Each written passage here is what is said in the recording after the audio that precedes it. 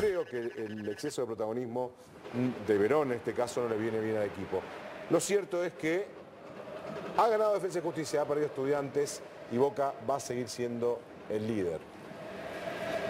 Ahí veíamos a Sebastián Becasese, el técnico de Defensa y Justicia. Tercer triunfo consecutivo. De defensa a los seis. Centro de Hugo Silva. El cabezazo es de Gonzalo Castellani. Llega bien Andújar.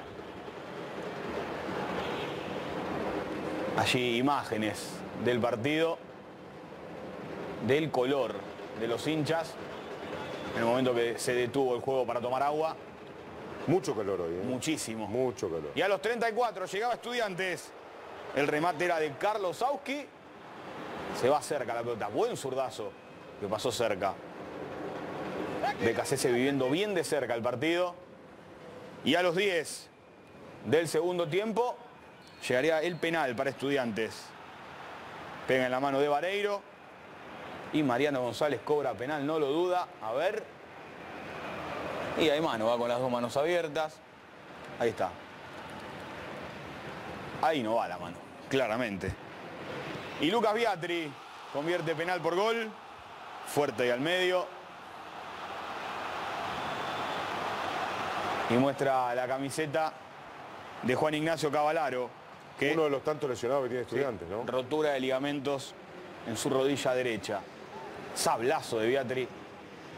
¿Cómo se tienen que patear los penales, no? Recordamos las lesiones, ¿no? De Sábato en primera instancia, González Pires y la de Cavalaro esta semana, ¿no? Y sigue sumando.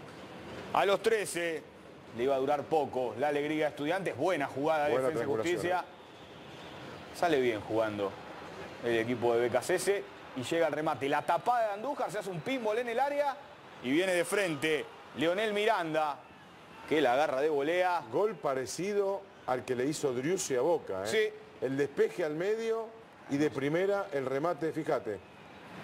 Ahí Muy está. parecido, mirá. Buena tapada de Andújar. el Ahí está, ¿ves? Y, pero en este caso me parece que Damonte hace lo que puede para Sí, es sacarla. es ¿no? verdad. No tiene como direccionar. La vio ahí y la sacó. Sí, coincido. Lo de Peruzzi ¿eh? Fue- fue... un error más, Más grosero, más sí. grosero. sí.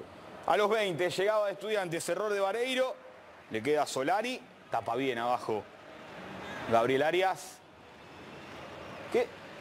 parecía un remate sin fuerza, pero venía picando No, y e- venía era- incómodo. era- sí, sí, era venenoso. A los 28, el gol de defensa, el centro de Hernán Fredes y Lucas Vareiro, que había estado siempre en el otro, en- del otro lado, ¿no? Con el penal, con el error ahí, se redime, mete el gol de la victoria para Defensa y Justicia.